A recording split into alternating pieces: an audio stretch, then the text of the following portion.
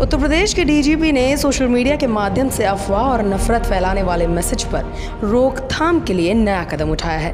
थाना स्तर पर डिजिटल वॉलंटियर बनाने का ऐलान डीजीपी ओपी सिंह ने किया। ये डिजिटल वॉलंटियर सोशल मीडिया पर अफवाहों को फैलाने वालों पर नज़र रखेंगे। साथ ही उसकी सूचना करीबी थाने को भी मुहैया कराएँगे, जिससे अफवाह से होने वाली वारदातों पर रोक लगाई जा सके। डीजीपी ओपी सिंह ने बताया कि डिजिटल वॉलंटियर के रूप में शिक्षक, प्रधानाचार्य, सेवानिवृत्त क्षेत्र के पत्रकार इसमें काम करेंगे। यूपी पुलिस का ये कदम सुनने में तो अच्छा लगता है।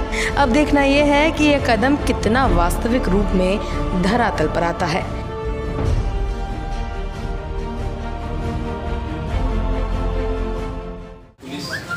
उत्तर प्रदेश पुलिस जो सोशल मीडिया में काफ़ी क्रांतिकारी कदम हमने उठाया है। हमने न केवल भारत के लोगों को, न केवल प्रदेश के लोगों को, बल्कि हमने एन को भी जोड़ने का प्रयास किया है।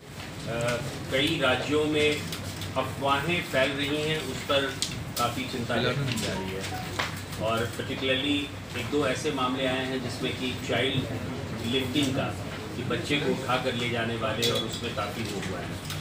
और ऐसे भी भिन्न भिन्न प्रकार के अफवाहें फैलते रहते हैं जो सोशल मीडिया में भी प्रचारित होते हैं प्रसारित होते हैं और ऐसे भी न्यूज़ में भी आता है। तो हमारे पास कोई सशक्त माध्यम नहीं है जिससे हम इन अफवाहों को वो करें। और इसीलिए हम आप समझ रहे हैं कि उत्तर प्रदेश पुलिस जो है बहुत ही पायनियर पुलिस है सो फॉर जो social media management is concern Lucknow से साहिल भारती के साथ सुष्मिता मुखर्जी की रिपोर्ट।